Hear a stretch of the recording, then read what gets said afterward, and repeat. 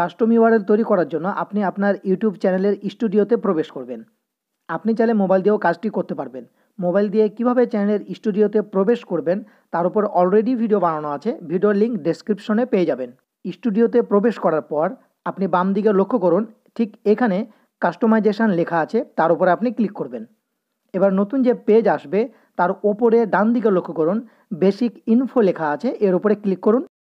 দেখুন, আপনি যখন নতুন চ্যানেল ক্রিয়েট করেন, তখন ঠিক এরকম একটি ইউআরএল তৈরি হয়। এটি অনেক বড় এবং হজ বড়লা কী যেন লেখা আছে, সেটি বোঝাই মুশকিল। এই ইউআরএলকে শর্ট করার জন্য এবং সহজে মনে থাকার জন্য আপনি আপনার চ্যানেলের জন্য একটি ইউআরএল তৈরি করবেন। এটি পাওয়ার জন্য আপনার চ্যানেলে মিনিমাম একশো সাবস্ক্রাইবার হতে হবে। একশো সাবস্ক্রাইবার হওয়ার সঙ্গে সঙ্গেই চ্যানেল ইউআরএল নিয়ে নিতে হবে। এটি দেরি করাটাই বোকামি। এর মূল কারণ হলো, আপনি আপনার চ্যানেলের জন্য যে ইউআরএল তৈরি করতে চান, সেই ইউআরএল অন্য কেউ নিয়ে নিলে আপনি কিন্তু আর ওই ইউআরএল পাবেন না। সুতরাং যত তাড়াতাড়ি আপনি আপনার চ্যানেলের জন্য ইউআরএল নিতে পারবেন, ততই বেটার সো আজকে পারলে কালকে করবেন না। আপনার চ্যানেলটি যদি ইউআরএল তৈরি করার জন্য এলিজেবল হয়, তাহলে লক্ষ্য করুন, ঠিক এখানে set a custom URL for your channel লেখা থাকবে। এর উপরে আপনি ক্লিক করবেন। ক্লিক করলেই ইউটিউব থেকে আপনাকে আপনার চ্যানেলের জন্য একটি কাস্টম ইউআরএল সাজেস্ট করা হবে। লক্ষ্য করুন, এই যে এটি। আপনার যদি এটি পছন্দ হয়, এটি সিলেক্টেড থাকা অবস্থায় ওপরে ডান দিকে লক্ষ্য করুন পাবলিশ লেখা আছে, এর উপর আপনাকে ক্লিক করতে হবে।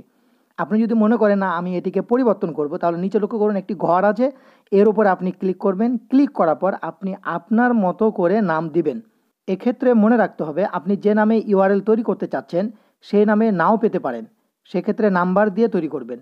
ঠিক যেমন করে আমরা কোনো একটা ওয়েবসাইটের ইউজার নেম তৈরি করি, অর্থাৎ আপনার ইউআরএলটি হবে আলফা নিউমেরিক ক্যারেক্টার্স দিয়ে, ঠিক আছে? সেখানে বর্ণ এবং সংখ্যা থাকবে। লেখা কমপ্লিট হয়ে গেলে ওপরে ডান দিকে লক্ষ্য করুন, পাবলিশ লেখা আছে, এর ওপরে ক্লিক করুন। এবার ঠিক এরকম একটি উইন্ডো আসবে, আপনি কনফার্মে ক্লিক করবেন।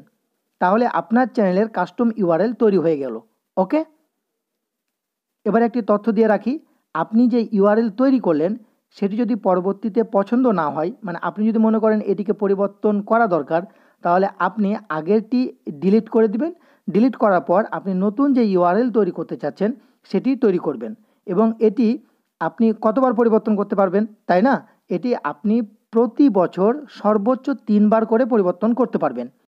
আশা করি ভিডিওটি আপনাদের অনেক উপকারে আসবে এবং এই ভিডিও থেকে আপনি অনেক গুরুত্বপূর্ণ ইনফরমেশান জানতে পেরেছেন। ভালো থাকবেন সুস্থ থাকবেন লার্ন টেক চ্যানেলের সঙ্গে থাকবেন। আল্লাহ হাফেজ আসসালামু আলাইকুম।